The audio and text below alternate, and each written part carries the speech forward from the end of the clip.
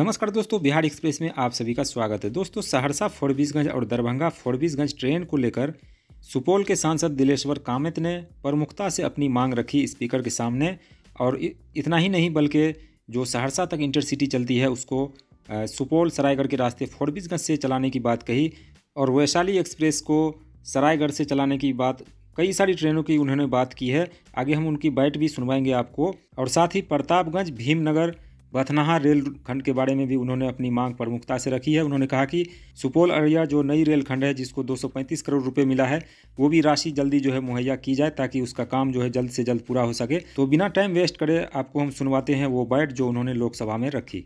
मैं अपने संसदीय क्षेत्र की कुछ समस्याओं को रखना चाहता हूँ। महोदय, मेरे संसदीय क्षेत्र सुपौल में नई रेल परियोजना सुपौल अररिया, जो कि सामरिक दृष्टि से महत्व को ध्यान में रखते हुए सीमावर्ती क्षेत्र के लिए 235 करोड़ रुपए का प्रावधान इस बजट में किया है। उक्त परियोजना के लिए आवश्यकता अनुसार धन राशि का जल्द से जल्द व्यवस्था कर इस परियोजना को पूरा किया जाए। महोदय, छियासी वर्ष के बाद मिथिलांचल तथा कोसी प्रमंडल को जोड़ने के लिए कोसी ब्रिज पर रेल परिचालन प्रारंभ हुआ।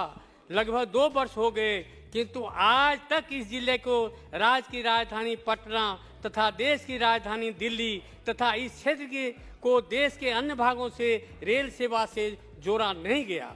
मात्र तीन जोड़ा ट्रेन, पैसेंजर ट्रेन चल रही है, जो सहरसा से लेकर दरभंगा इस इसी रेलवे में चल रही है।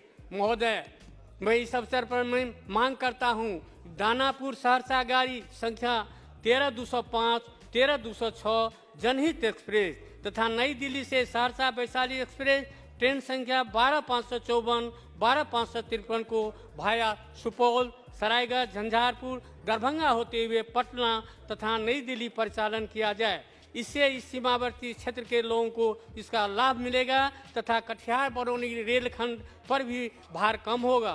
ट्रेन संख्या तेरह तीन सौ इकतीस तेरह तीन सौ बत्तीस जो पन, जो पटना इंटरसिटी चलती है, इंटरसिटी एक्सप्रेस जो पटना से सहरसा तक आती है, उसे फारबिसगंज तक विस्तार किया जाए।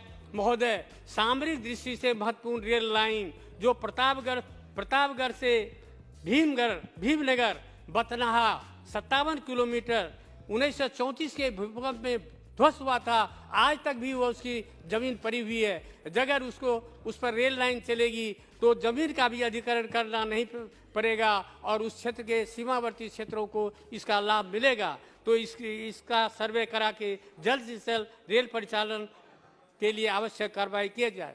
महोदय, पूर्व मध्य रेलवे से, के ललित ग्राम से फारबिसगंज तक अमान परिवर्तन का काम पूरा हो चुका है तथा सीसीआरएस का इंस्पेक्शन भी हो चुका है। अतिशीघ्र उक्त खंड पर फारबिसगंज से सहरसा तथा दरभंगा तक एवं डिब्रूगढ़ राजधानी को भाया सरायगढ़, झंझारपुर तथा दरभंगा होते हुए दिल्ली ले जाने से समय और दूरी की बचत होगी। और साथ ही साथ उस क्षेत्र के करीब पाँच सात जिलों के लोगों को इसका फ़ायदा मिलेगा। बहुत बहुत धन्यवाद। Thank you Shri Ramesh विधुड़ी ji.